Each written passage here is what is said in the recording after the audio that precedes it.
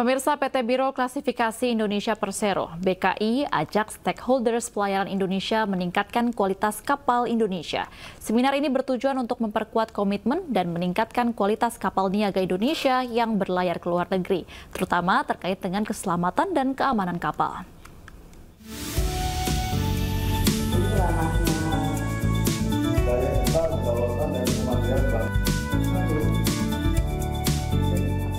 PT Biro Klasifikasi Indonesia Persero BKI, lead dari holding BUMN Jasa Survei Adi Survei, mengajak seluruh pihak untuk meningkatkan kualitas kapal berbendera Indonesia. Hal ini untuk mempertahankan status Indonesia dalam kategori whitelist Tokyo MOU yang merupakan indikator penting dalam menjaga reputasi pelayaran Indonesia dalam pasar global.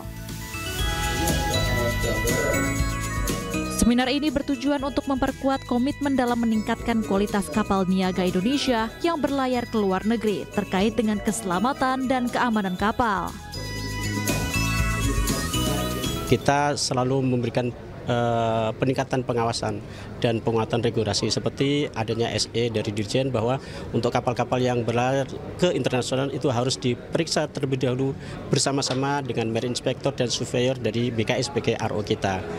Kemudian langkah yang selanjutnya adalah kita ada kerjasama dengan pihak internasional yang sudah kita lakukan adalah dengan Singapura, MPA Singapura dan China administration di sana sehingga kita lebih bisa berkomunikasi lagi bisa mempertahankan waitlist ini.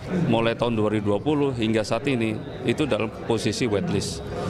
Waitlist ini banyak uh, keuntungan yang bisa uh, di apa dengan adanya waitlist kapal-kapal Bandara Indonesia bisa berlayar ke seluruh pelabuhan di dunia karena sudah komplain dengan aturan regulasi uh, IMO Resolution. Nah, untuk itu tugas yang berat sekarang adalah bagaimana menjaga tetap performing whitelist. Makanya itu awareness ini perlu kita rutin lakukan untuk memberi pemahaman bagaimana dalam mengelola kapal itu, baik itu operasional maupun maintenance-nya, tetap mengacu komplain dengan aturan internasional, sehingga bisa berlayar dengan aman uh, uh, dan safety-nya dijamin.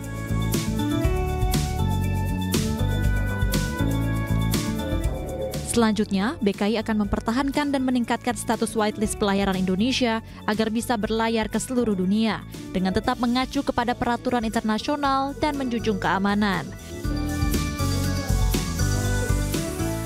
Dengan kerjasama antar semua pihak serta menjaga dan meningkatkan status whitelist. Dari Jakarta, Anissa Septiarani, Muhammad Zulkarnain, iNews melaporkan.